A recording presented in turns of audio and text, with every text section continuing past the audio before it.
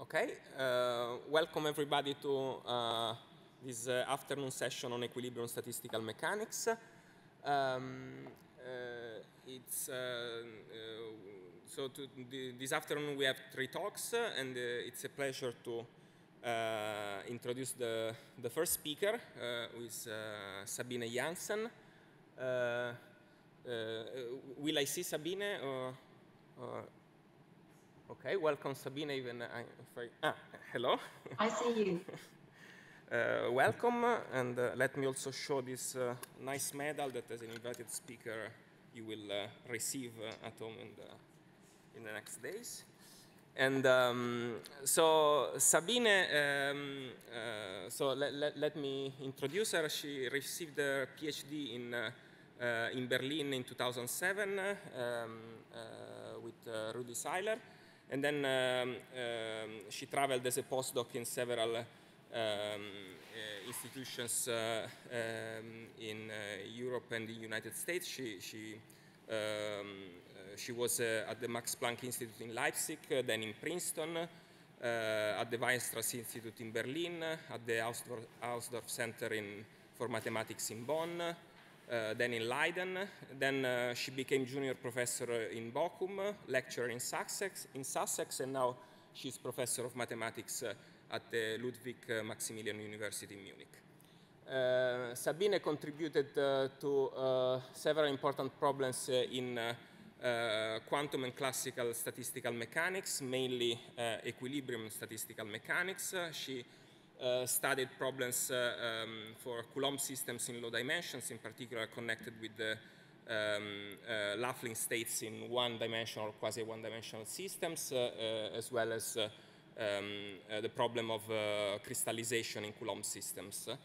Um, uh, she uh, contributed a lot to, to the um, theory of uh, um, equilibrium Gibbs measures uh, by developing uh, and extending uh, methods of virial and cluster expansion, in particular for multi-species systems, which are of great importance for the problem of um, uh, phase transitions in uh, um, classical and quantum systems uh, with hardcore interactions.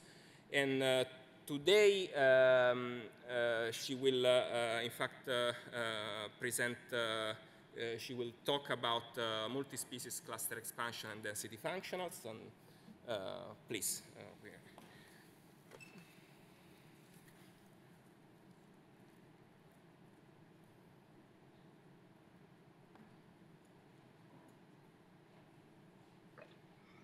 Thank you very much for the for the invitation and for the kind introduction. It's really an honor to speak um, at the conference, even though I am not physically present there.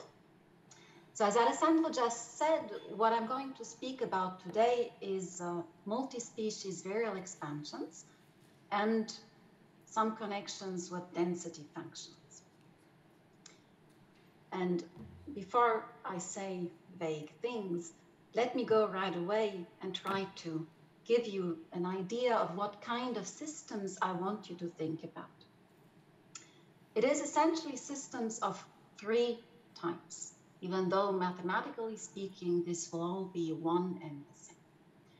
The first is, if you like, point-like particles that are characterized just by coordinates, which are elements of RD, or everything that I will do will be in finite volume, so there will be a cubic box 0 L to the D. And then there will be some pair potential, which can be attractive. And then you want to do classical statistical mechanics. And all I will do is in the grand canonicals. And over here, I want you to think of systems that might be inhomogeneous. So you might want to specify not just one scalar density variable, but really a profile rho of x. Another kind of system is when your particles are no longer point-like, but instead they have an internal degree of freedom. And one such example, especially if you work in um, liquid crystals, which I think some of you know much more about than I do, um, is that perhaps you think of rods that move in space, and then you would characterize these things by a position which could be the center of the rod. and then an orientation, which could be a unit vector. So here the unit vector would be my internal degree of freedom. And the thing I want to emphasize over here is that in this middle column, I want you to think of the internal degree of freedom as being a continuous variable, in particular uncountable. Yet another picture is some mixtures, or if you like, multi-species and multi-component systems. And just to have one concrete example, that's kind of my pet example, um, you could think of mixtures of hard spheres of different radii. Perhaps just to fix ideas, you, you have a countable set of admissible radii, which are such that radius rk corresponds to a ball of volume proportional to k. The motivation over here actually comes from toy models of um, condensation, where you want to think of such a sphere as a very simplified droplet made out of k particles. And then you ask, is are you going to see one large or many small? And then this is mentally somehow connected to um, the question of phase transition in a very naive and heuristic way. So this is what got me started, but um, I'm not able to say anything about this in general. Good. Now the goal for all of these three systems is to write the free energy as a function of the density profile, rho of x, or if you think of this mixture as a function of a vector of densities, where each sphere size has its own density variable, rho k. Now let's just remind ourselves um, of the key formulas. I think that most of these formulas are familiar in one way or another um, to most of you, but perhaps some of us work more in the discrete setup, so a reminder doesn't hurt. I work on the grand canonical ensemble and finite volume. Um, my input is not a scalar activity, but really an activity profile, Z of Q. There's a pair potential B. Um, I don't want to deal with inverse temperature, so beta is set equal to one. And then here's the usual grand canonical partition function. You see if Z were constant, then you would have the usual Z to the N front. In the case where you have a countable species index, like for the discrete set of radii, here this integral dq is supposed to be a shorthand. You do both in one go. You integrate over the position of the sphere and you sum over the size. And the log or minus the log of this thing is the Landau grand potential. Now, one functional of interest, especially for people doing density functional theory, and um, I learned recently that there's also such a thing as classical density functional theory, is the Helmholtz free energy. And one way to define it in the grand canonical setup is that you just take the Legendre transform of um, the logarithm of the grand canonical partition function um, with respect to the log of the activity profile. So FL of rho is the sup over O activity profile. And then you have this expression integral rho log Z minus the logarithm of the partition function. Of course, if you ask for which z is the maximum over here achieved, this leads you to leads you to the familiar equation that rho as a function of z is simply z times the derivative of the very of the grand canonical, the logarithm of the grand canonical partition function with respect to z. And the continuum setup, it's a variational. Also classical formulas, if the interaction vanishes, so little v is identically zero, then z and q are just the same. And the free energy is just the integral of rho log rho minus 1. And what we're after is, well, if the interaction does not vanish, but is sufficiently weak, or the density is small, what are the power series corrections to this? Now, the power series connection corrections are actually well known if, if you, you're happy not to ask about convergence. Namely, it is known that you can write the inverse of the Z rho relation in the following form. Z is simply rho times something. And this something you can write as exponential of minus, and then there's a sum over certain things and uh, an integral where you have here essentially a density to the power n. And um, here in this integral, a kernel, which um, I will say something about in a minute. And same thing for the free energy, you have the, the ideal gas contribution integral rho log rho, and then comes a correction term defined in terms of this kernel d. And it is known that these coefficients over here, so the dn as a function of q1 to qn, so this integrand, is simply given by a sum over two connected graphs on n vertices. So let's perhaps briefly remind ourselves of what that is. So two connected graph is a graph that is connected and it stays connected when you remove a vertex. So such a graph would be okay. Such a graph is not okay because upon removing this thing, the graph becomes disconnected. So it is a sum over all two connected graphs on n vertices, and each graph contributes a weight, which is a product over all the edges of the graph. And each edge contributes the Meyer f function, which is if you have qi and qj, then you put here this e to the minus interaction, minus 1. And if you have a pair potential of compact support, you see that this thing vanishes unless qi and qj are sufficiently close so that the pair interaction is non-zero. Now these formulas, um, you will find them, for example, in papers by Stell or Hiroike Morita from the 60s. It's really a classical story. The question is, however, what about convergence? So let's see what is known about this. Of course, it's an old story, so there are results in convergence. Let's just remind ourselves of some of them. Well, the simplest situation is if you have just a homogeneous translationary invariant single type system, and there's just one scalar density variable, rho. I wrote rho larger than zero, but if you're interested in analyticity, of course, you can think of rho as a complex thing. And then there are results by Lebowitz and Penrose from 64, by Groeneveld from 67, and um, a lot of work since then. I don't even attempt to cite, uh, to do a list. Um, there's also the situation where, let's say, you have a translationally invariant system with a finitely many different types of particles. And then instead of having one scalar variable, you just have a vector. Um, so that's a mixture of finitely many things. And there are also, there are results. And these is, again, we're still in the 60s. Now, motivated by this mixture of hard spheres of unbounded size, we started looking at what happens when you have countably many different types of particles. And so instead of having a vector, you really have a sequence of densities. And it turned out that we had to work more for that than I would have initially thought. But we got a result with uh, Stephen Tate and Dimitris Tsagkarogiannis and Daniel Ueltschi. And this was a couple of years ago, but not anymore in the 60s. And we did it using um, Lagrange-Good inversion, for those of you who know what it is. Now, what is missing in this list is um, what if you really have a density profile which is indexed by a continuous variable that lives in an uncountable space?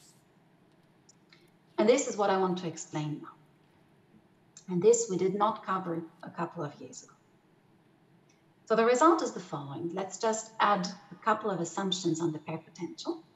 So I work with a pair potential um, which might be negative, so attraction is allowed. It can have a hard core. Um, I'm assuming that it is bounded from below um, in the following form. If I ask about the interaction between x and y, then this is bounded by some function minus b star of x. The x dependence, if you like, allows um, the bound to depend on the species index in a multi-species system.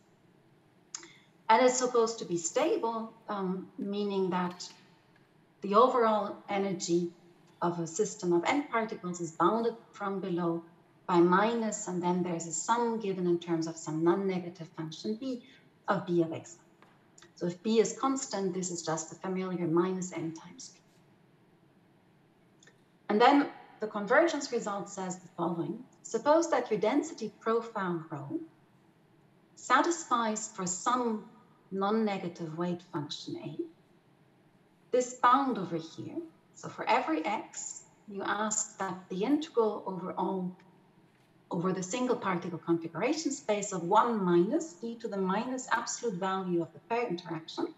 And then there's this exponential that has the lower bound b star, the stability b, and then this twice times the weight function at y, integrated out against rho, and all of that's supposed to be smaller or equal to a of x. Once you know that, you also know that this generating function for two connected graphs at density profile rho, which appeared on the previous slides on the expansion of the free energy and powers of rho, you can bound it by this wave function A, and it is finite in particular. So if you know Kotecký-Preiss type conditions or continuum versions of it, which I learned from, from Daniel Ueltschi, so a paper from 2004 and another paper by Pogosyan and Ueltschi, then this is very much like those things. There's two minor differences. So here there's the e to the minus the absolute value of v, which we get by using an improved tree graph inequality by Procacci and Yuhjtman. Um, and here, instead of having an a, there's a 2a.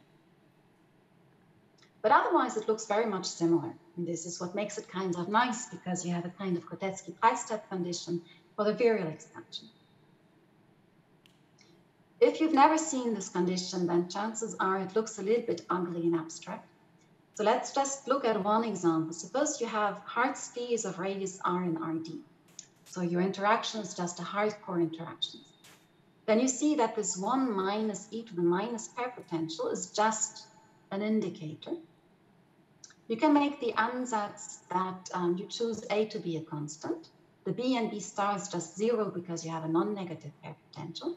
And then you find that a sufficient condition for the convergence of, uh, for, for this condition to be satisfied is that the sup number of rho times the volume of um, the sphere of radius twice 2r is smaller than the sup over a, and then there's e to the minus 2a obtained by bringing this to the other side, which is something you can compute. It's 1 over 2e, and that is 0.18. So this horrible condition actually gives you a number. It's not that bad. Now we were, we were very happy to see that the 0.18 is better than the 0.14 that you have in Lebowitz-Penrose, even though radius of convergence improving that is not especially what we were after. Um, but then we learned that it's actually worse than a criterion by Groeneveld, so it's somewhere in there. But still. Now, let me give you um, a very quick proof idea.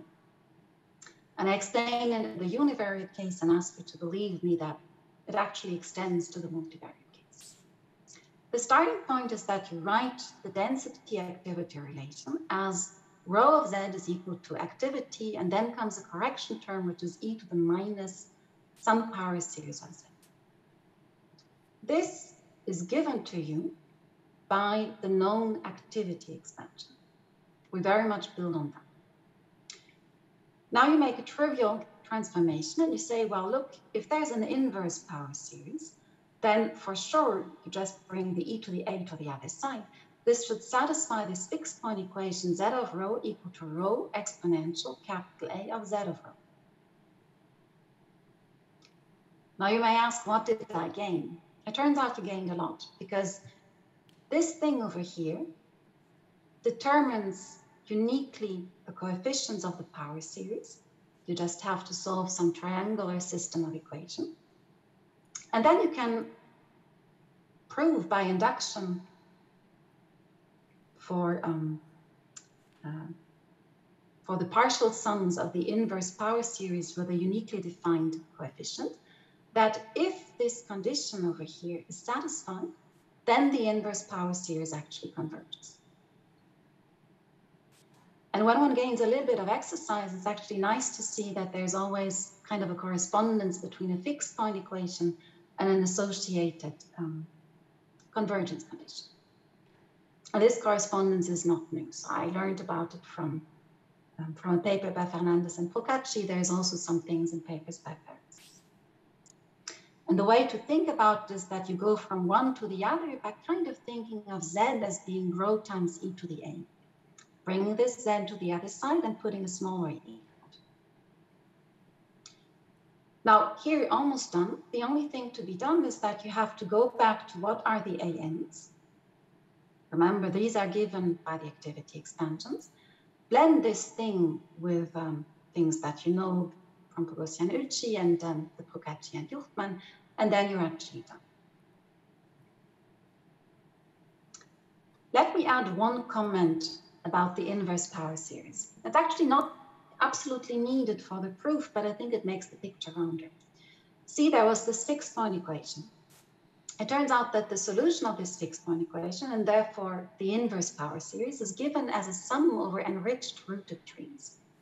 And this representation extends to our uncountable setup. Enriched means for each vertex, so not only do you have a tree, but in addition, for each vertex, you specify a set partition on the children of that vertex. I hope you can guess from the picture how this should be read. And then what happens is that your inverse series is uh, simply given as a generating function of weighted trees. Course, here the z to the n should be a rho to the n. Sorry. And the weight of a tree, so here's an example. Each set, uh, each block of the set partition of some set of children of a root contributes a factor. Remember, this was the factor which appears in the fixed point. Now, we were very happy when we understood it, but actually, um, thanks to remarks we got after talks, um, we learned that this relation is actually quite classical. So there are Gallavotti-Nicolò trees and renormalization and dynamical systems. In numerics, there are equations that appear um, and that are also addressed using trees, and there the keyword is butcher trees. In algebra, there's something called the Bass-Connell-Wright tree inversion formula. And in combinatorics and formal power series, there's something called the arborescent form of Lagrange-Good.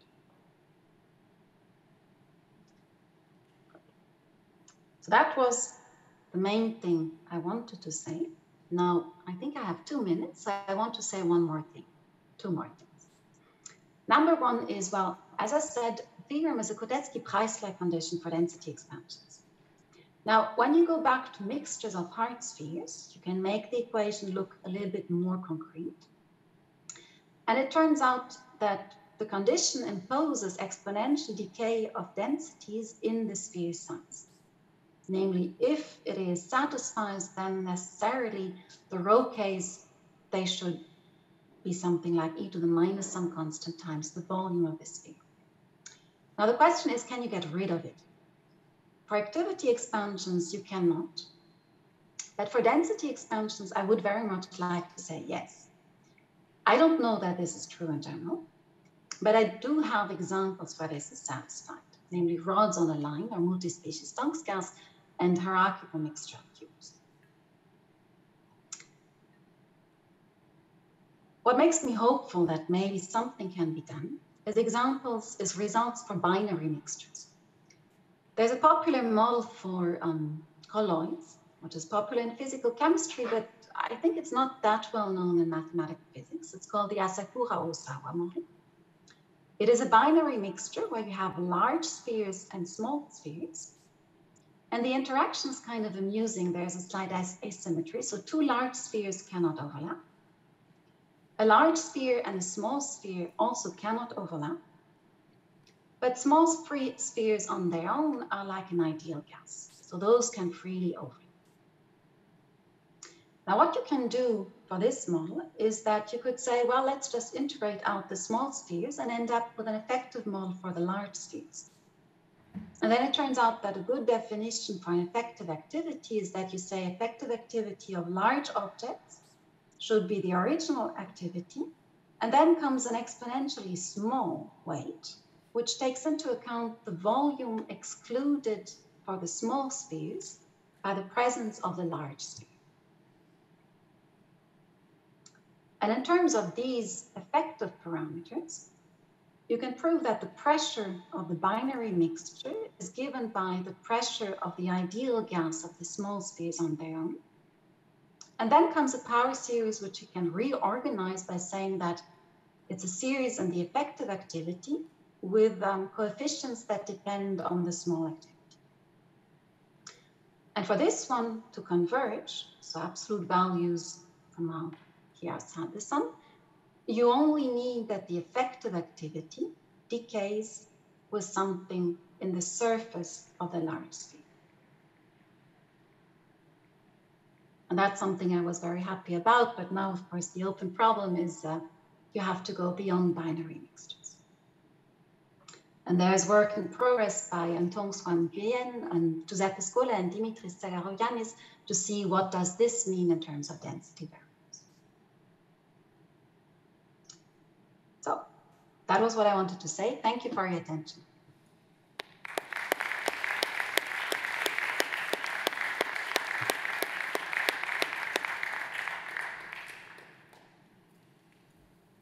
Thank you, Sabine. Thank you very much. Um, I have a first uh, uh, online question, then I will move to the on-site ones. Um, from Daniel Ueltschi, uh, where does the factor 2 in the generalized Kotecký-Preiss condition comes from? Could this be improved? Ah. Well, with our proof method, I think it cannot be improved. Uh, it comes from applying tree graph inequality essentially twice. So let me find the place. Yes. So as you see, um, number one is I treat the capital A's as a black box, and here I have a single A. Then comes number two. I remember that the capital A ends are themselves given by sums over connected graphs, and I use a tree graph inequality, and there a second e to the A comes in. So that's very quick, but I hope it gives an idea, and I think that part we cannot get rid of. I mean, I, I don't see how. Okay, thanks. Are there uh, questions uh, uh, from the audience on site? Yes, please. So at the beginning, the setup was for uh, fugacities and density being position dependent, but then this disappeared. Do the results extend to uh, the position dependent case? Yes, I, di I did not want to, to bother you with uh, the formulas in the general case. So um, let's see. So whatever you write for a single variable, you can also write um, in the uncountable setup. It just becomes a bit uglier. Let me just give one formula, for example. So here, this fixed point, fixed point equation becomes z of q is equal to rho of q. And then comes an exponential. And then you would have a sum over one, n equal 1 to infinity 1 over n factorial integral. And now instead of just having a n, you would have a function um, xn. And then comes z of q, which actually depends on rho, uh, no, x1, sorry. And then you move on like that. Um, sorry for the handwriting and then comes, uh, let's say, dx1, dxn. So I hope this gives an idea. So basically, yes, there's, yes, the results extend. Um, the analysis and the convergence condition extend, and also on the combinatorial level, things extend. Instead of just having trees, you end up having combinatorial species for colored things, and then you start dealing with trees where the root has a certain color, and you sum over the colors of the children, and you can do all kinds of nice things. I hope okay, this thank you. you. an idea. Uh, are there more questions?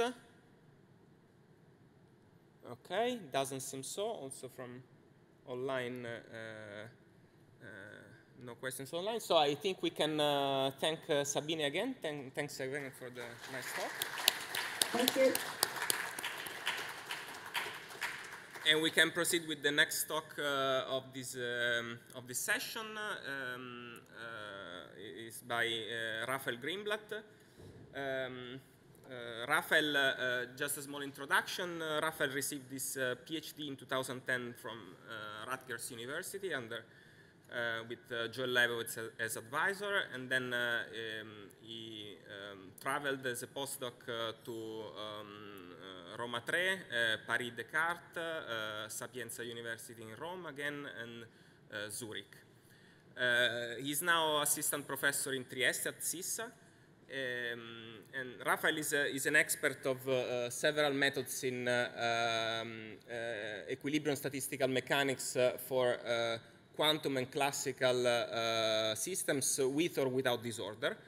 Um, he contributed to the uh, theory of uh, rounding of first order phase transition uh, for quantum systems with quench disorder um, and to the, um, to the theory of, uh, uh, of the critical behavior of uh, um, systems with columnar disorder. he also contributed to the problem of universality of scale limit in certain two-dimensional critical systems, such as uh, Ising models with uh, non-integrable interactions uh, and dimer models in, in finite domains. And today he will present um, uh, its results on non-integrable Ising-like models and the constructive renormalization group. Uh, Rafael, also for you, this uh, nice medal as an invited speaker. And please. So is there, um, is there a remote control for the, is there, hmm? oh yes. Is there a control for this, the screen?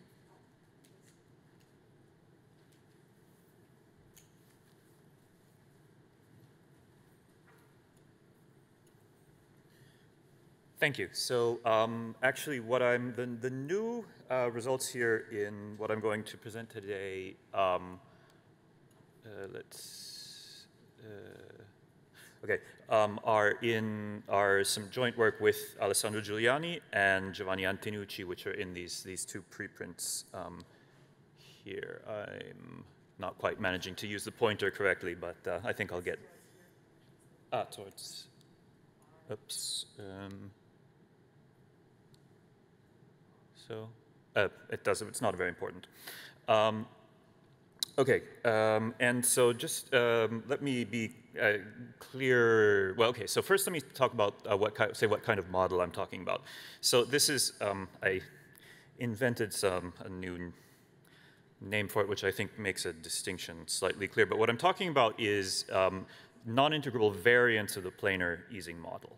Um, so like with the standard Ising model, you have a configuration space uh, consisting of spins which take value plus and minus one. That is, you have, you, take, you have some lattice and you assign a spin value to each site on the lattice. I'm going to specifically consider things which are at least locally look like the square lattice so that I can talk about uh, translation invariance, um, which is uh, quite important. So um, what I'm going to talk about is a class of models where one starts with the normal nearest neighbor square lattice Ising model, which is the um, first term in the Hamiltonian that I've written.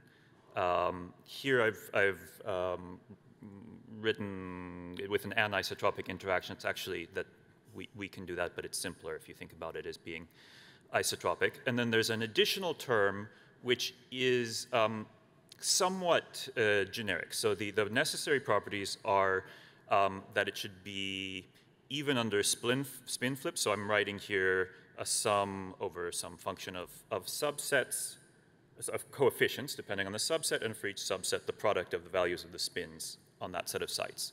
So this should be restricted to um, even subsets, so that the system is still um, even under the Hamiltonian and therefore other things are still even under the flipping all spins. It should be restricted to strictly finite range, and it should be translation invariant. So I'm just going to say Ising model uh, to distinguish uh, the situation with just a pair interaction, and then there's the planar Ising model, which is the standard integrable case in which here would be interactions only between nearest neighbors. And of course, um, you all, I, hopefully you all know what a Gibbs measure is, but uh, just to be, of course, that's what the Hamiltonian defines. Also, I'll also consider, um, uh, just restrict to things which are invariant under lattice rotations. Um, that just makes a few expressions simpler, but it's not uh, crucial. Um, okay, and um, let me mention uh, that um, uh, one observable which uh, we can say more about in our results, which involves products of spins on neighboring sites, which we call the energy observable, even though that's maybe slightly a misnomer for this modified, uh, um, modified interaction. But I'll use this symbol, this symbol epsilon, which is the product of two spins at the site labeled by x. Um, also, just one last bit of notation, I'm going to talk about uh, truncated correlation functions indicated by these uh, semicolons, um, which can be used to reconstruct the standard correlation functions, which is just the expectations of products of observables and vice versa. And these are um, uh, simpler because it's um, in these are among other things simpler in the scaling limit because it avoids having to subtract off averages to isolate the, the long distance behavior. Um, and the uh, one last bit of notation, the, the truncated correlation functions are obtained from this, this expectation of an, an exponential, which is the generating function, and which will be, uh, which will reappear uh, somewhat. Okay, so um, why talk about these models? Um, well, um, so there, these are because of, of universality. So there are, there are a lot of things that are known about the planar Ising model, which is solvable in a very strong sense, as um, we know thanks to many people, including uh, Professor Griffiths, who we heard about yesterday, but also um, more recently, um, there are some results of the last 10 years or so that have uh, come out of people working here in Geneva, in particular about um, uh, the conformal transformation properties of the Ising model. Um, so um, the, it's known for the planar case that if you look at two domains which, um, so two lattices which discretize two different continuous domains which are related by a conformal transformation, then asymptotically, uh, when all of the distances involved are large, um, the correlation functions in one domain can be obtained from the correlation functions in the other domain by applying the conformal map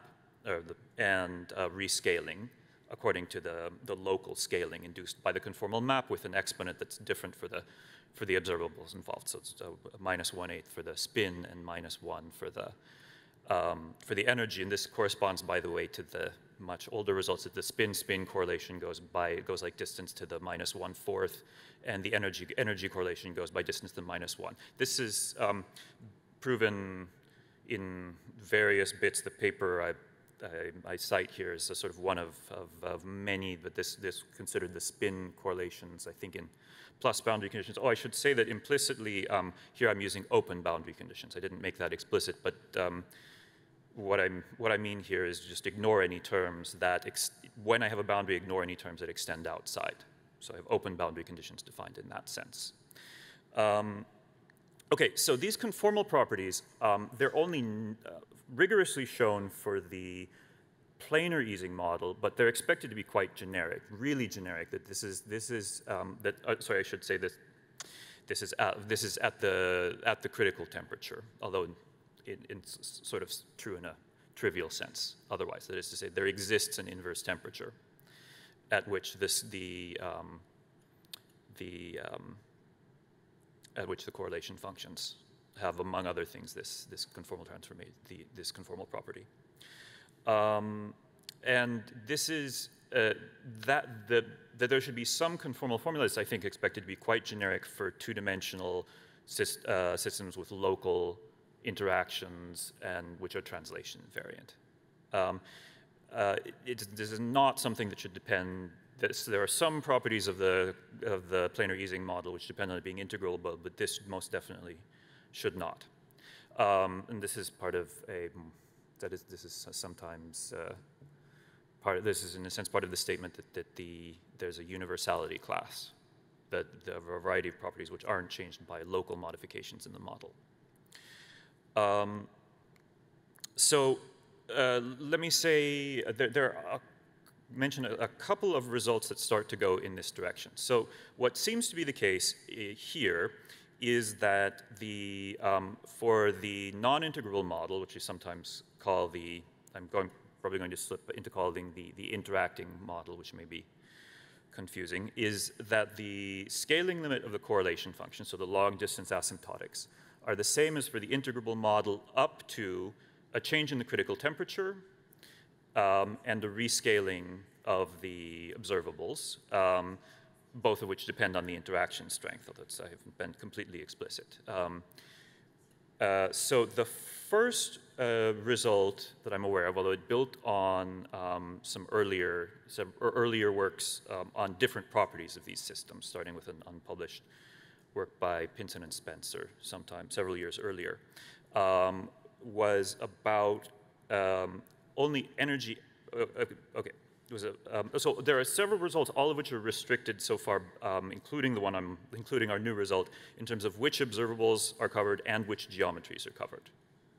So the um, first result uh, by Alessandro Giuliani, Vieri Mastropietro, and myself, we were able to show uh, this relationship for energy-energy correlations on a torus, but in the limit in which the diameter of the torus is much larger than the distance between the correlation functions, so uh, the distance between the, the observables, um, so that one doesn't actually see the effects of the geometry, so that it might as well be on the plane. Um, that a previous result is in the framework uh, setup, although we, we stated it a, a little less uh, generally, it holds for any sort of interaction of the type I've mentioned, so it could hold for, uh, could be, for example, a four-spin interaction, a six-spin interaction, something like that. And for either sign, as long as the, the, um, the prefactor is small, where by small I mean there's some, uh, some number depending on the form, and the one fixes the prefactor small enough. Um, there's a, a, different result using, I should say, using entirely different techniques um, by Aizenman, Duminil-Copin, uh, Tassion and Warzel, um, which is based on a, a, random current representation which applies to um, spins on the boundary of a half plane. And there they considered only, let's say, the non-planar Ising model, so only pair interactions, but not necessarily nearest neighbor. So a non-integrable uh, subset of the non-integrable case. And there only with a fixed sign. So this is so um, strictly ferromagnetic in the somewhat more physical terminology. Whereas um, our results apply to uh, systems with a predominant ferromagnetic interaction, but not uh, completely. There can be some terms whose sign is not fixed. Um, what we've been able to, to show is um, uh, first for the, we've, uh, in the two preprints I mentioned, we show the convergence for the energy observables on a cylinder, including in a limit where the, uh, in the asymptotic regime where all of the distances involved are comparable. So one sees the effect of the boundary, the effect of the finite system size, and so on. Um, and this uh, can be generalized also to include the spins at the boundary. And since the half plane can be obtained as a certain um, limit of the cylinder, there's some overlap with the case considered by Aizenman, uh, Aizenman and Company. Um, that is, uh, working out the details. Um, so let me say um, something quite briefly about how, um, how we were able to do this, um, which I hope to say something that'll be at least in part comprehensible to people who aren't too beyond the very small number of people who are familiar in detail with the, the with the uh, multi-scale expansion methods that we use. Um, so this starts from um, uh, an understanding of the integrable planar model. Um, and one of the senses in which the, the integrable model is integrable, is very solvable, is that, for example, the energy correlations uh, have this, um, this uh, Pfaffian form. The Pfaffian, for um, people who don't know, is a polynomial in the entries of, a, of an antisymmetric matrix, which um, is related to the determinant, in particular the square of the Pfaffian is the determinant. Um, and the matrix in question is, um, uh, which we tend to call the, the propagator, but is uh, also identified with the two-point function of the Kadanoff-Ceva fermions up to some linear combinations, um, is um, the precise form, the formula that I gave here is for G um, which is the inverse of a certain weighted adjacent, weighted signed adjacency uh, matrix of this, this cluster graph where each spin is replaced, replaced with four uh, sites and the energy observable is associated um, uh, uh, with the two uh, the two um, the two sites at the tip of the bond that it represents. Um, so uh, that also that this is uh, um, a, formula that also appears in quantum field theory is fermionic the fermionic Wick's rule. It's a, basically the defining feature of a free fermionic field theory. Um, and it can also, the uh, Pfaffian as a general result can also be written uh, in this way um, as a so-called Berezin integral in terms of Grassmann variables. This is a formal, um, it's a, a linear uh, map from Grassmann polynomials to uh, the, in this case, the reals, um, which generalizes an integral. In particular, the Pfaffian corresponds to um, a Gaussian integral in which one has an, the exponential of a quadratic form. Um, with uh, this is this is how one um, set this is essentially how one uh, sets up path integrals for, uh, for for fermionic field theories, and that's where we borrowed um, quite a lot of our methods from. Um, so incidentally, the the matrix uh, G, um, the the fact that it's in it's defined as the inverse of another matrix also gives a representation of it as the solution of a linear boundary value problem, which will, is um, the, the, basis for the whole um, S holomorphicity setup that a lot of the, the, the that the results of the, the um, these results about conformal invariance for the integrable model are obtained from. Um, so that's also an important object in, in our uh, theory. And starting from this uh, Pfaffian formula, we can uh, write um, anything that's a, any um, observable that's a function of the of this energy observable in effect in terms of a a Berezin integral. Um, the uh, one consequence of have a very important consequence of restricting to even interactions is that I can then write that as a local sum of energy observables. So the spin at two distant sites is the product of the energy on all the bonds on a path connecting them, for example, is a sort of telescoping product. Um, and with uh, some effort, so here I'm going to get vague again, uh, one can write the, um, the generating functional for the energy observables, or sent using, or well, anything else that would be local in terms of these Grassmann fields, as a Berezin integral with um, a, not just a quadratic exponent which of course, which is what one gets for an, a mod uh, for um, the the partition function of interacting fermionic quantum field theories.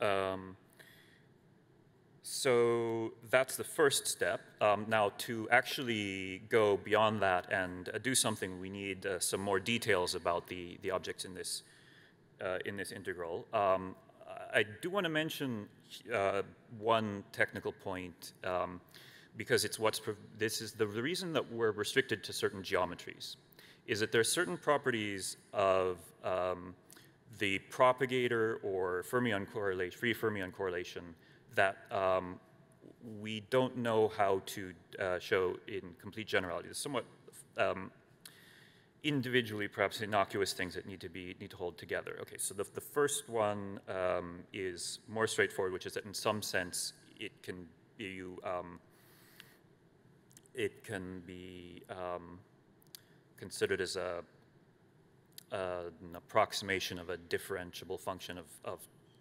two quantities on each end. So, or um, this is uh, perhaps this that that is so, sorry not so straightforward to state, but not particularly, but I assure you, not particularly mysterious.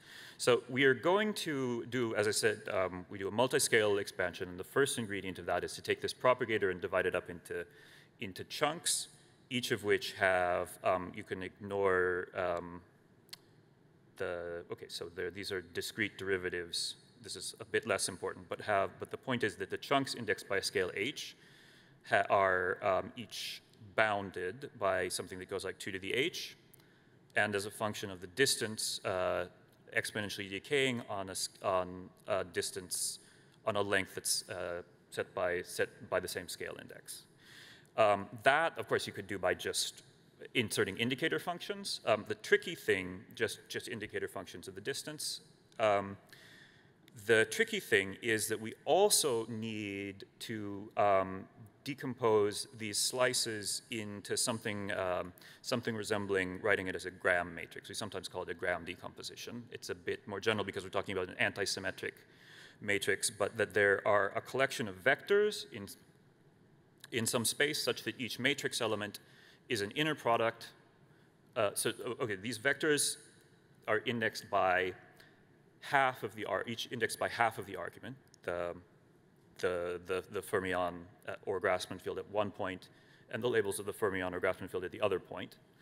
Um, that then the matrix elements are all given by the associated inner products of these vectors, and that the, they, um, the norms of the vectors have a similar bound to the, um, the matrix element themselves. Um, it's, it's not particularly uh, clear in general how to obtain this, so we do this um, we've only been able to carry this through in, in, situations where we know how to more or less exactly diagonalize the, um, uh, the, the, matrix S, or equivalently the matrix G, the, the, um, the Kasteleyn matrix, or the free action.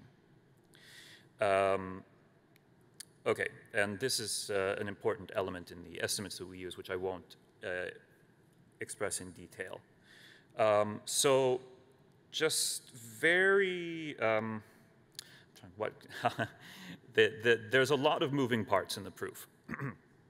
so, but um, for those of you, uh, those of you who, for whom this, this means something, the uh, correlation functions um, can be expressed in terms of um, essentially um, a sum over a sum over Feynman diagrams with some modifications that correspond to um, uh, that are necessary to cancel um, uh, divergent terms. Um, I won't attempt to explain this in uh, too much, in really any detail, except to note that it's possible to identify um, uh, certain, uh, it, this is in the very, this is a, a, form of the constructive normalization group. It's possible to identify certain contributions which are potentially uh, divergent associated with a, with a scaling dimension. Um, for this theory can be written um, in this way, and you have in principle three, uh, one um, relevant uh, term, which is one which is to say, where one, yeah, one relevant case, which is to say definitely causing divergence, and two marginal cases, which is to say that one should needs to to be careful about them. Um, one of them is zero by reasons of a, a, certain symmetry of the Ising model, and one can, can, can um, deal with the other two by um, introducing um, a counter term that is adding subtracting something fixed appropriately. that, is, that probably means nothing to people who haven't um, waded through some of these papers, but I, I apologize.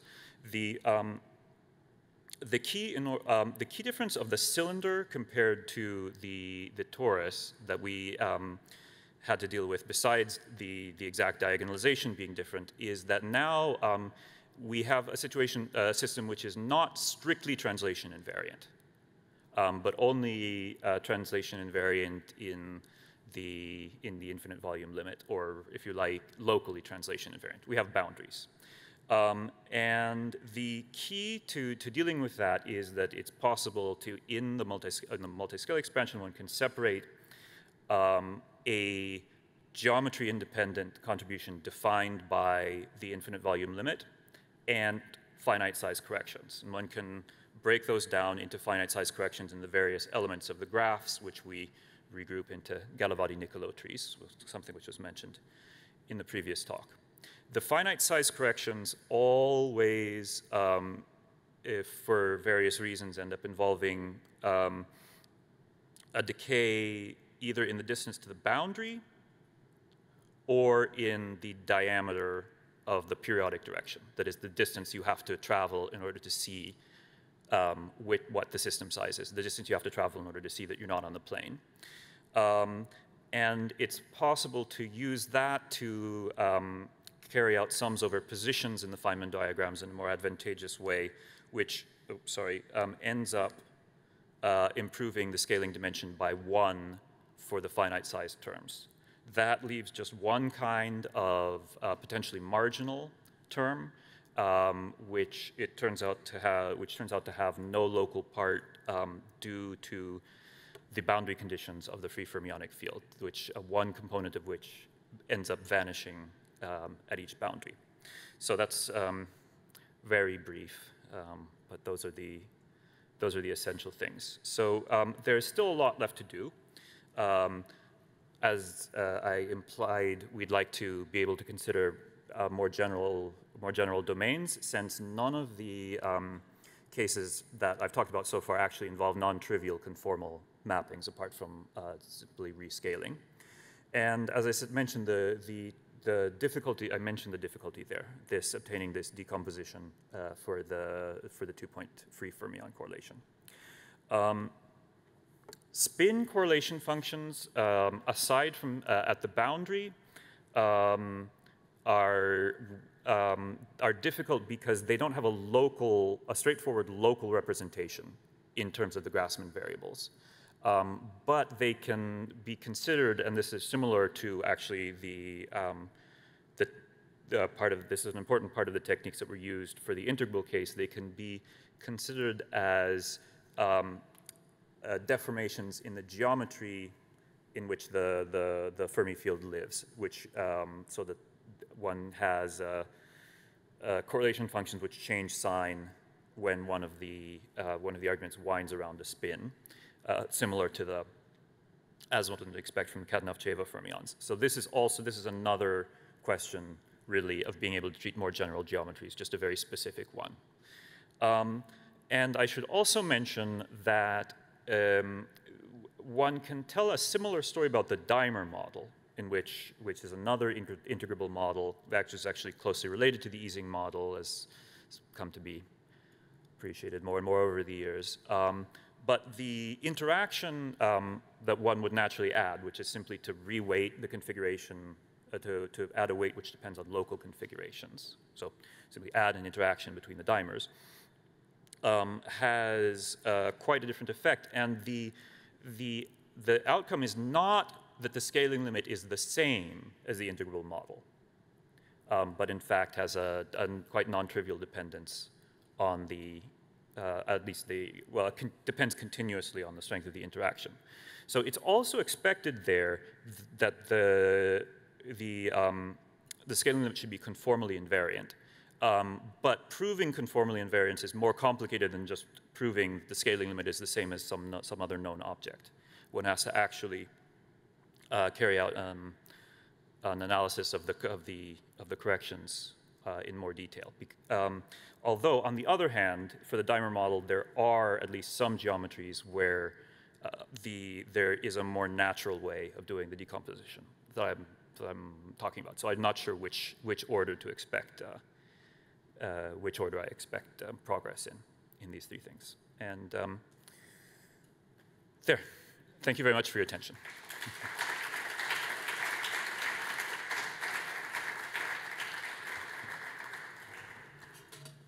Thank you, Rafael. Uh, so are there questions from the on-site audience? Yes?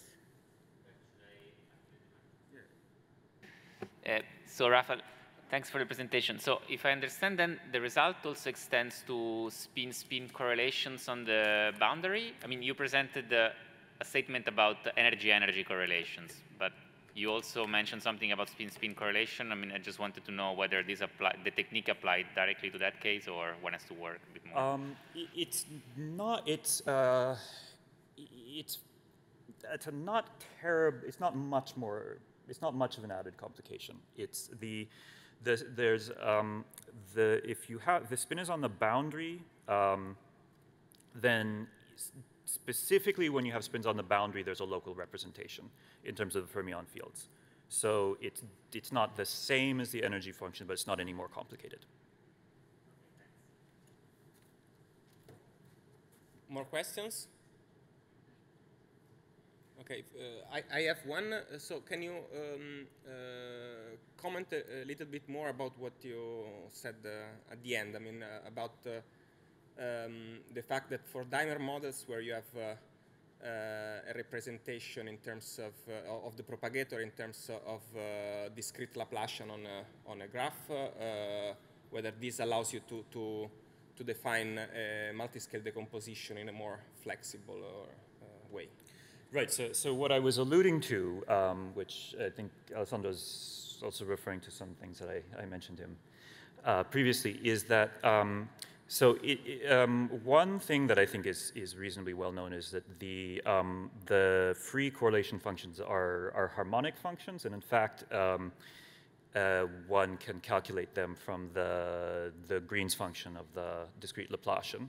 In fact, in a dimer model, this is a bit uh, simpler because if you take the, the matrix, um, the Kasteleyn matrix, um, if in a certain uh, setup, if you take the, the, the Kasteleyn matrix times its transpose, you obtain a, a um, discrete Laplacian on a subgraph um, up to potential complications at the boundary.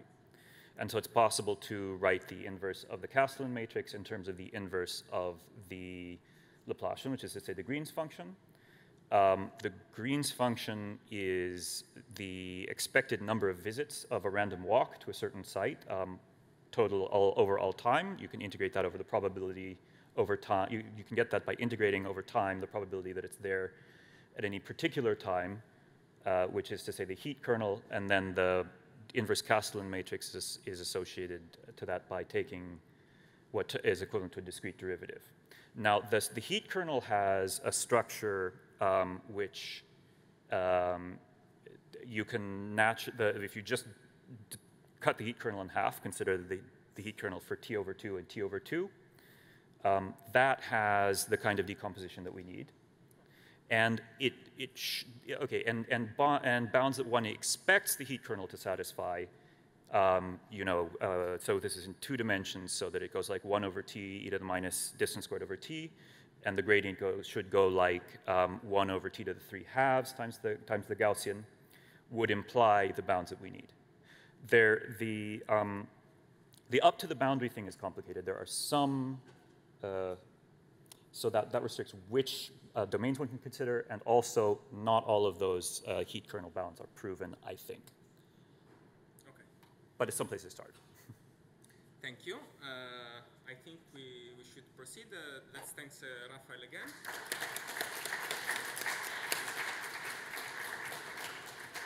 And uh, next speaker I have the pleasure to introduce is uh, Roland Bauerschmidt, uh, who will make his presentation uh, online. Hi, hello, Roland. Um, so um, uh, before Roland starts his presentation, let me briefly introduce him. Uh, so Roland Bauerschmidt obtained his PhD in 2013 at the University of British Columbia with David Brydges and Gordon Slade. After that, he was postdoc uh, um, at the Institute of Advanced Studies in Princeton and then at uh, Harvard University and now is a reader at the statistical uh, laboratory in uh, uh, Cambridge, UK, at the University of Cambridge. Roland is an expert of probability theory analysis, mathematical physics, and applications to several statistical mechanics and quantum field theory models. he obtained remarkable results uh, on uh, um, the, the, critical behavior of uh, 544 models uh, via uh, constructive renormalization group methods um, and um, on critical behavior of the weakly self-avoiding walk in four dimensions as well. Um, he also uh, studied and obtained uh, uh, important results on the eigenvalue statistics in um, random regular graphs. And he studied um, the mass generation problem in, in, in sine-Gordon quantum field theory, which I think will tell us something about uh, today. Uh, and uh, he also studied the st stochastic dynamics of several statistical mechanics and quantum field theory models. And uh, uh, so I'm very happy that uh, today you will tell us about probabilistic aspects of the um, Sine-Gordon field theory. Ah, and also for you, Roland, so there is this nice medal that as an invited speaker you will receive soon. Okay, please, you can start. Uh, thank you very much for the uh, kind introduction. Um, let me apologize in advance for my voice. I've been uh, ill the past few days. Uh, I hope I'll, I'll, make it through the talk. Um, uh, okay, so uh, I, I, will uh, report on um, uh, basically three joint works with Thierry Bodineau, my PhD student Michael Hofstetter, and with Christian Webb. And um, I'll focus on two of these and in view of the, of the time. Uh, but let me uh, first, uh, so all, all of these are related to actually somewhat different aspects of, of the Sine-Gordon theory. Um, so let me first uh, recall what that is. Um, so uh, everything, uh, I will think of the Sine-Gordon theory just as a random field. So I, I'm, I will not discuss aspects of, of quantum field theory uh, uh, in this talk. Uh, I'll be interested in the Sine-Gordon field phi as, as a model of a random field with some interaction. And, and, and the interaction is this periodic potential. So, so we have the usual um, free field term where this Laplacian epsilon is, is just the uh, discretized Laplacian on a, on a lattice of uh, mesh size epsilon. Uh, we potentially allow a, a, mass term, which I would uh, call a, a, bare mass.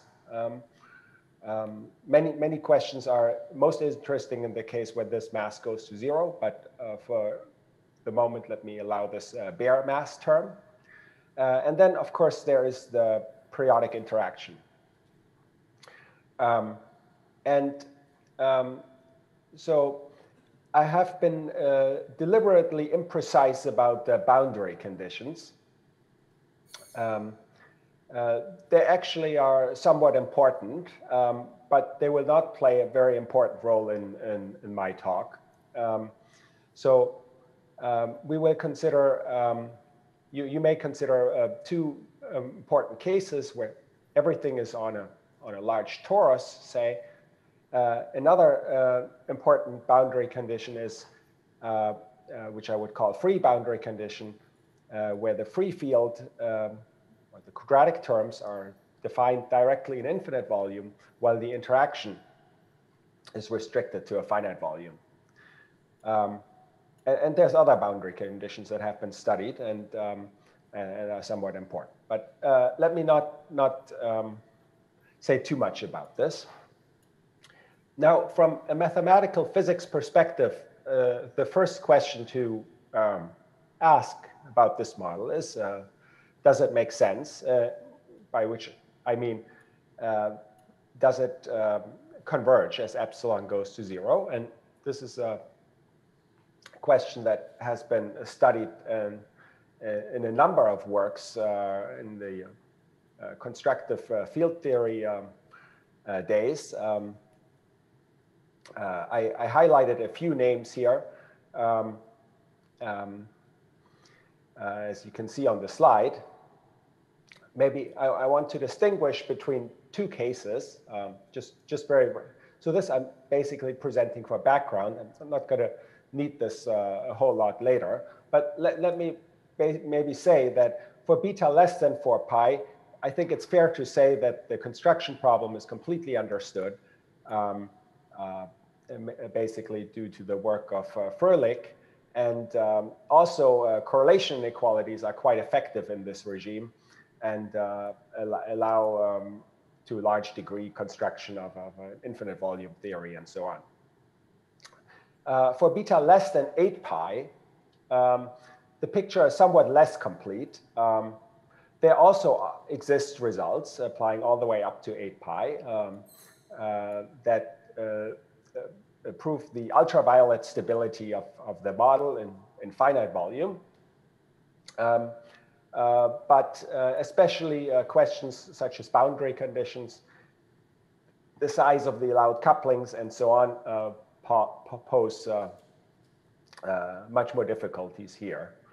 And um, um, okay, so so so th that is um, so much for the uh, background on on the um, on, on, the existence of, of the model and, and, and, what has been studied. Uh, in summary, I think it is fair to say that it's one of the models where the um, uh, construction is uh, is uh, uh, best understood, and in fact, this will so. And, and I, come back to this. Um, there's a variety of, of approaches um, uh, to, um, to, to study the ultraviolet stability of this problem. And uh, in particular, um, the renormalization group approach is, is, uh, is very easy to um, uh, make rigorous in, in this um, setting, especially when beta is less than uh, 6 pi, say. and it thus provides a, a, very good test case for um, um, for questions that, that we would like to understand in much more complicated models, but for which we, uh, for which the Sine-Gordon model, uh, due to the simplicity of the construction there, is, is, uh, is a good test case. Okay, so this, this is one aspect. A, second, a second uh, aspect is, of course, the study of the um, physically um, interesting limit where um, in the infinite volume limit, uh, where the mass goes to zero, uh, the so-called uh, massless Sine-Gordon model. Um, and in, in this regime, um, overall, uh, much remains to be understood, I, I, think it is fair to say. Um, uh, some uh, results that uh, can be highlighted or that, that do exist uh, is um, work of, um, of Yang following uh, the three-dimensional Brydges-Federbush results. Um, um, this result is applies to beta small um, and it obtains exponential correlation decay and, and under a certain regime but I think it's uh, fair to say that even this result is, uh, is incomplete in the sense that uh, uh there is a, a, lot of questions remain, boundary conditions, coupling constants, and so on. Uh, okay.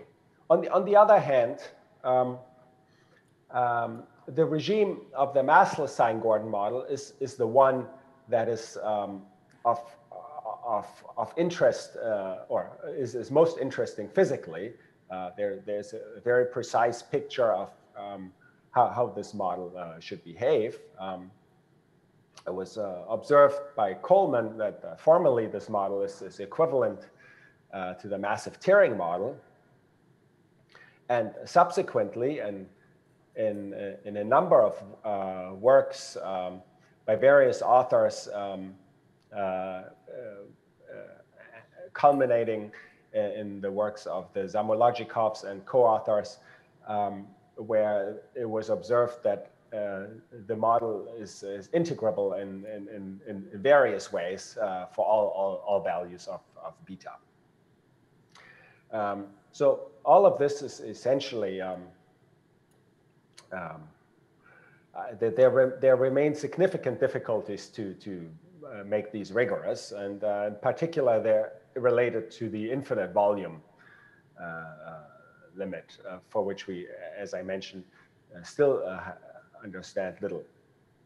Um, so I, in, in view of, so in this talk, I, I will not focus on this aspect. Um, so initially I thought I, I, um, I would cover both aspects, but in, ultimately there's a limited amount of time and I, I cannot uh, say everything. And um, I, I just want to mention that, uh, so in, in this respect, uh, the simplest possible case, which is the so-called free fermion point, something that uh, Christian Webb and I revisited, um, and uh, our main contribution is how to take the infinite volume limit and show the existence of a mass in this case. And um, there's a, a, recording of, uh, of, uh, of a talk about this in the IAMP seminar, and I will um, refer to that for this and instead focus on, on, on the second point I mentioned, uh, which is um, uh, that I, I think the Sine-Gordon uh, theory is, is, is, a, is a good uh, test case to, um, to test uh, some um, uh, global questions in statistical field theory. So these, these global questions are, are, perhaps not the ones that are most relevant for the Sine-Gordon theory. We, we, there, there, are other models for which we uh, perhaps love to understand these, these more. Um, uh, but, but those are hard questions, and uh, the Sine-Gordon model provides uh, a case where we can do something and uh, develop methods. So, so what do I mean by global properties? By global properties, I mean ones that are not easily expressible in terms of local correlation functions. So one example would be to consider um, the Glauber dynamics of the field. Uh, so where the field evolves uh, according to uh, uh um, um, differential equation with uh, some uh, stochastic noise. Um, so for the Sine-Gordon model, that would correspond to an SPDE um, that's written here, but uh, never mind, this, uh, the, the form of this equation is not important for what I'm going to say. But so this, this kind of Glauber dynamics are the kinds of SPDEs that have been studied uh, by uh, Hairer and co-authors in the last years. And um, uh, the Sine-Gordon model may not be the one uh, for which the um, relaxation property of Glauber dynamics is the most interesting question, but in general, I think it's a quite interesting question, and, and this prov it provides a model where, where, as I'll explain, we can do something.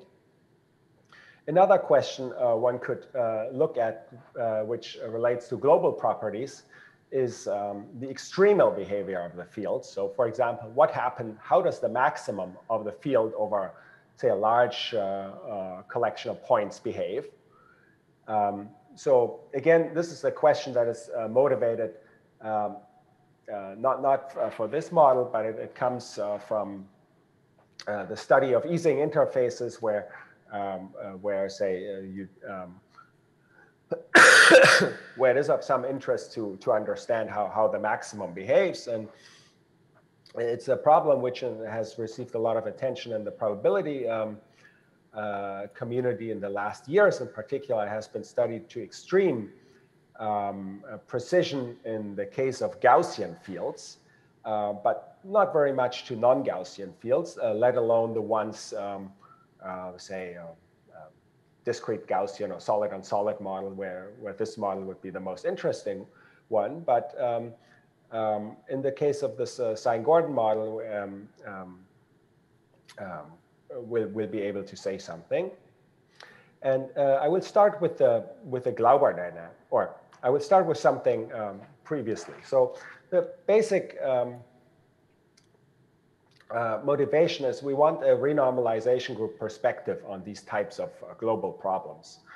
And um, what has turned out to be particularly useful is um, uh, to uh, interpret the renormalization group uh, in continuous time or in continuous scale uh, as, uh, as proposed by Polchinski. So in this slide, everything is completely general. There's nothing um, uh, relating to the Sine-Gordon model in particular. If we consider a measure nu, which has, uh, is of the general form of the measures we're interested in, has a, a Gaussian part um, uh, and an interaction part, um, uh, then we can, uh, in, in, in, the in the situation where we have all cutoffs, we can always do this. We can always um, um, decompose the Gaussian measure, for example, using the heat kernel decomposition, but other decompositions would be uh, um, would be possible. So we write the, the covariance of the Gaussian measure as the integral over the heat kernel. And uh, this gives a regularized covariance, and uh, uh, we, we can define Gaussian measures corresponding to these. And then by convolving um, this um, regularized Gaussian measure with the with the exponential of the potential, we can define the renormalized potential as, as, uh, as usually. So e to the minus vt is the convolution of the uh, Gaussian measure with covariance ct with e to the minus v naught. And so if you do this continuously, um, this renormalized potential Vt solves uh, the Polchinski equation, which is the equation I, I wrote uh, on, on this slide. So it's the this, uh, Hamilton-Jacobi type PDE. Uh, it's a very high dimensional, of course. V is a, a potential that depends on the field uh, the field uh, is a function of, of all lattice points. We're imposing, say, cutoffs in the infrared and the ultraviolet, so there's finitely many, but um, uh, ultimately uh, infinitely many, uh, and um, and um, the renormalized potential satisfies this beautiful equation. As beautiful as this equation is, in, in practice, it has been of uh, let's say, bounded use uh, in um, uh, the theory of the renormalization group because it's very hard to solve this equation. Um, and in practice, um, uh, the renormalization group proceeds in discrete steps. Um, but uh, in the case of the Sine-Gordon model, um, the Polchinski equation is not hard to solve, uh, and, and that is one of the beauties. And uh, uh, there's a beautiful paper of Brydges and Kennedy where they uh, where they do this. It's also related to the iterated Mayer expansion, uh, considered by various other people uh, before. Um, um, essentially, this is a continuous iteration, if, if, you prefer. And um, so in, so the Sine-Gordon model provides an example. So the ultraviolet problem of the Sine-Gordon model provides an example where we can solve the Polchinski equation, and we can explore some of uh, some of uh, its consequences. And um, um, so, and so here is one. So again, this this result is uh, is stated very generally for a measure e to the minus uh, so uh, a half phi, for, for a measure with a Gaussian part and a potential V naught. Um, we defined the renormalized potential Vt as before. And then in this uh, theorem with uh, Thierry Bodineau, what we proved is that if you can control the Hessian of the renormalized potential uh, in a certain way, it looks somewhat complicated, but the, the condition is not, not, not too complicated uh, then this implies the Log-Sobolev inequality for the measure. And um, now, um, so um, let me pause for a second. So, um, it, so, so this is a result. Uh, so there, uh, so this is maybe a little bit out of um, most people's uh, background here, but um, uh, there, there's, a, there's a very uh, rich uh, theory of, uh, of Log-Sobolev inequalities and so on under the assumption of convexity. Of course, convexity is, is not is, is useless in our context. The measures we're interested in are not convex. Um, and uh, what our theorem essentially does, it, it generalizes this theory of uh, Bakry-Émery uh, to uh, apply to non-convex measures. And the way we do this is, uh, so this Bakry-Émery argument, it, it uses uh, as an input interpolation according to a, a certain semigroup. And that semigroup is basically the Glauber semigroup. And what we do is we use the same type of argument, but we interpolate using the renormalization group as the semigroup. So it has to be continuous for these arguments to work. So, so for that reason, it's important that uh, that uh, that we have this control over the Polchinski equation. Uh, but but basically, we use that to interpolate the relative entropy, and uh, thus obtain this criterion for for the Log-Sobolev inequality.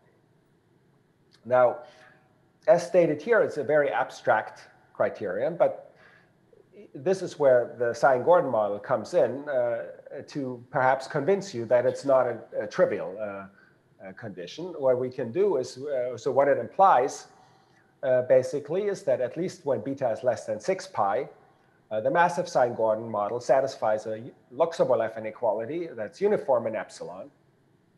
And if the coupling constant is small, it's also uniform in the volume.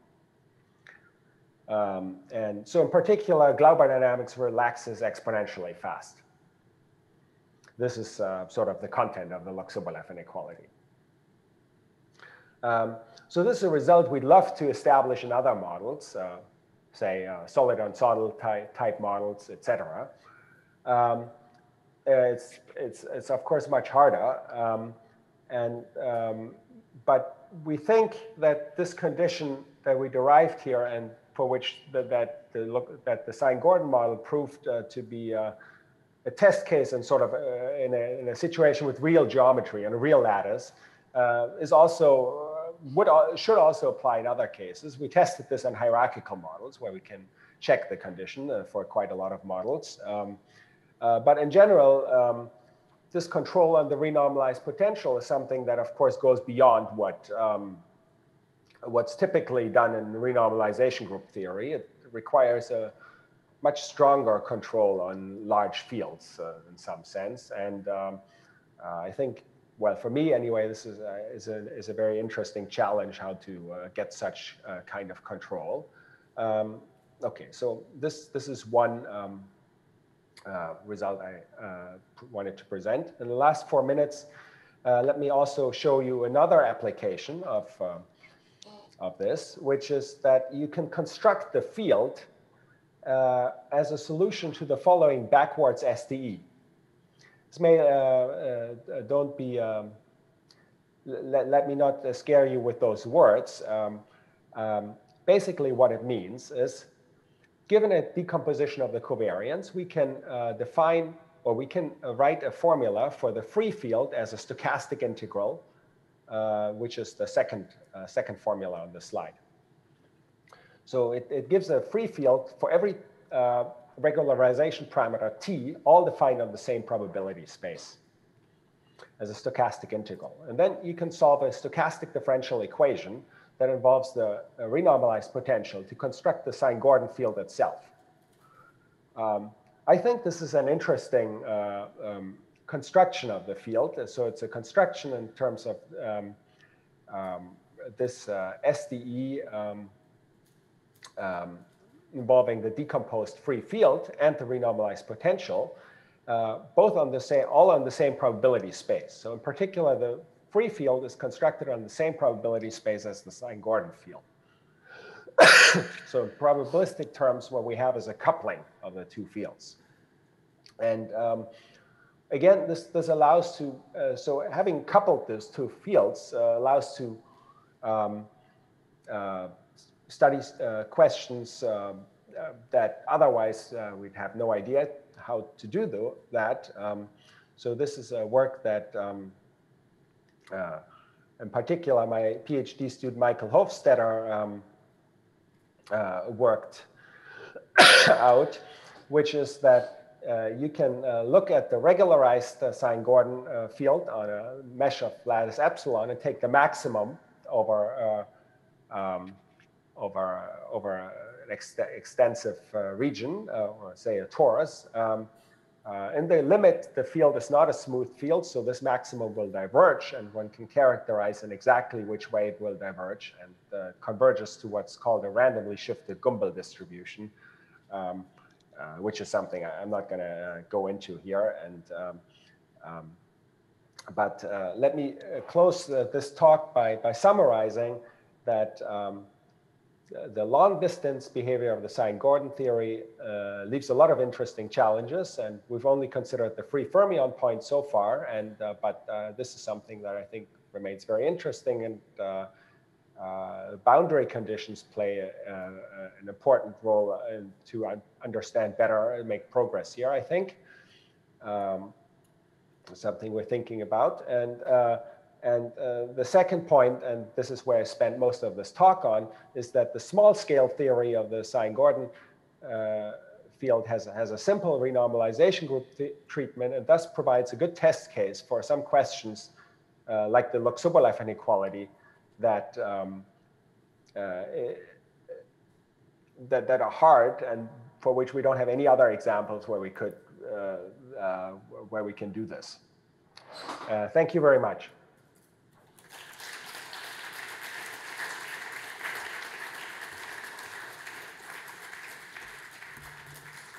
Thank you very much, Roland. Are there questions?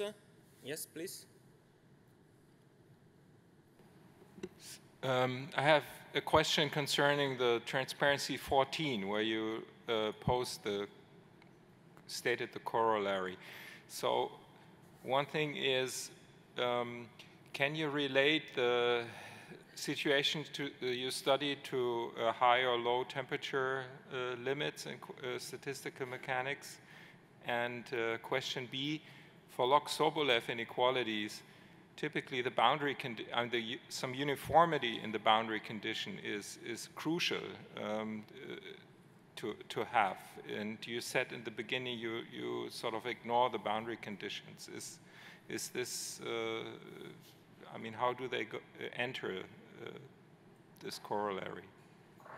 Uh, yes, so here I, have been a little bit imprecise. So this is for the Sine-Gordon model on a torus.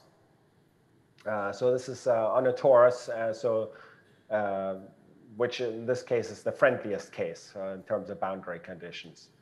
Um, but maybe to comment, I mean, so our approach to the look, so, so you mentioned the, the sensitivity to boundary conditions and Log-Sobolev inequalities. And so the, the point I maybe I, I, I, didn't highlight very much, but somehow our, our approach to the Log-Sobolev inequality to um, to interpolate through the renormalization group differs from what's basically done everywhere in the literature, which is through uh, boxes or through, through boundaries where you need very uniform control.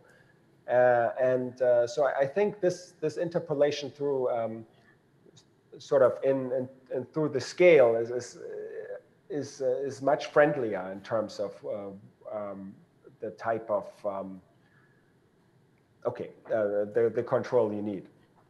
Uh, then the second question you had is how does this relate to um, um, uh, high or low temperature limits? Uh, I'm not quite sure how to answer this question. I mean, here we we considered this. Uh, so, so this is the massive Sine-Gordon model, which we, I mean, it's a high temperature model. It but it's defined with uh, on a on a mesh on a lattice of mesh epsilon, so it's sort of strongly correlated at, at small scales, and um, um,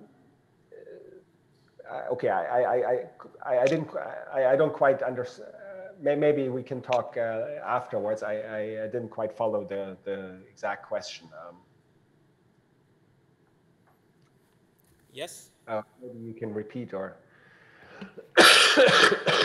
Uh, hi, Roland. I, I, was wondering uh, about this uh, coupling you mentioned at the end of your talk um, yes. between the GFF and the Sine-Gordon field.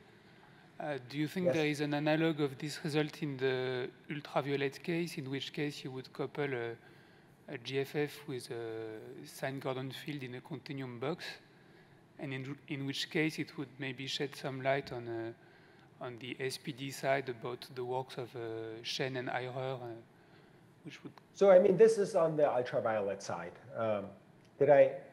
Oh, that so slide is about the ultraviolet. Yes, it, it is. Okay. So this is in the continuum. So you have a continuum GFF and a continuum Sine-Gordon field, and you can couple the two on the same space. Um, ah, okay, great. So and, and so so good. So, so I remembered in uh, Shen and Hairer, if you are be between uh, 4 pi and 6 pi, yeah. what you need to add to the Gaussian free field is something which is uh, irregular enough so that it's not uh, absolutely continuous with respect to it. Yeah, so basically you can see, so you can look, so basically what it tells you is if you take the difference of the free field and the Sine-Gordon field, it's given by this integral over this um, this uh, gradient of the effective potential. And uh, we, so this is a function on, on space still. It's not apparent in this notation, but the gradient is, has a space variable. And this term is, uh, is uh, C1, or is, is uh, differentiable for beta less than 4 pi, but it's only Hölder continuous once beta exceeds uh, 4 pi. So it has a Hölder exponent, which I think is beta over uh, 4 pi minus 1 or something like that. Um, anyway, you can compute exactly how regular this function is, and it, it loses uh, a regularity as, as beta increases. Okay, thanks a so, lot. Like you, you, can see, so it, so you can see how the, the Hölder regularity, it, it just comes, so for every S, this effective potential is, is, is smooth. But once you integrate it up, you see the, the regularity of the field. Thank you. Okay, uh, there's time for one last question. Okay, uh, I have one. Um, uh, um, again, on this uh, corollary um, uh, about uh, of the um, yes, on the on the on the exponential relaxation. two questions. One, can you say anything about the massless case at beta equal 4 pi? I mean, the the one for which you, you no i um, no for this this for this result we cannot and i agree it would be very interesting but um, um, so far we cannot okay but is it a technical problem or there is a, a conceptual well um, obstacle um, it's um, So what, what do you expect? I think it's. I mean, do you, do you expect exponential relax, Do you expect exponential relaxation in that case as well? Uh, yes, I mean I, we do, um, but um, um, uh, I, I, think we all yes we, we do, but we we cannot. Um, okay, I I'm not quite sure. Um, somehow the information of the correlations, uh, so at 4 pi, we, we know we can compute all correlation functions exactly. Still, uh, it's hard to um, convert this into uh, a statement about the Glauber dynamics. You might compare this to the Ising model, say, critical 2D Ising model, all energy correlations are, well, you, you know what they are. Still, it's hard to uh, uh, hard to say anything about the Glauber dynamics of the two-dimensional Ising model, right? Yeah, but this is massive. The, the so you you right. you have a mass, so this may things. Um, yes, but I, I, think I mean so for the Ising model, you can ask the same on a box with a of a certain length. Uh, you have an effective mass then. Okay. Uh, yes. and, and, so I I mean I I agree it, it should be true and. Uh, it's something we've thought about, but it, it's not so easy to um, use the equilibrium information on correlations to say something about dynamics. Um, um, and partly this, um, yeah. And, and for the massive case, uh, do you expect uh, the, the, the, result to hold up to 8 pi? I mean, modulo, I mean, adding the I, I, think so, but uh, technically it gets harder. Um, and um, I think we I think we do expect it to hold up to 8 pi, um, but uh, uh, it, uh, basically is. Uh, I think it's related to this uh, conjecture of uh, Benfatto on the convergence of the Mayer expansion with the first n terms removed. Um, um, up to 8 pi, which remains open. or maybe this, I, I, don't know if this conjecture is due Benfatto, but at least he states it. Uh, mm-hmm. maybe, I, may, maybe someone else has uh, conjectured it before, but so this conjecture, uh, I, I, think, um, sort of related to that, um, uh, assuming that it probably is valid up to 8 pi, but um, I have to think about it.